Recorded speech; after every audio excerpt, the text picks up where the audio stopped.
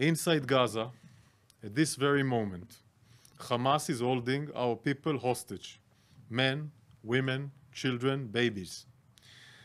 We urge all people who care about women's rights, children's rights, human rights, the future of humanity to join us in calling for the immediate release of our hostages.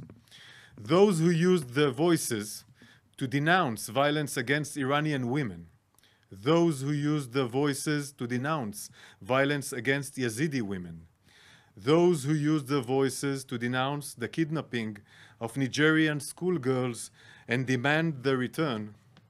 Raise your voices.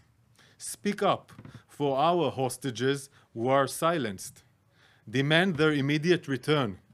Right now, UN Women has launched a campaign to fight against gender-based violence called No Excuses.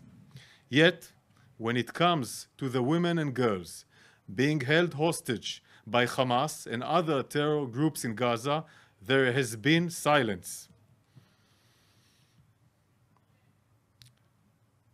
There is no excuse for silence. People who care about women's rights, children's rights, human rights, the future of humanity should show it. Speak up. Demand the Red Cross see them. Speak up. Demand the immediate release of all our hostages. The IDF will do everything, everything to rescue the hostages. Thank you.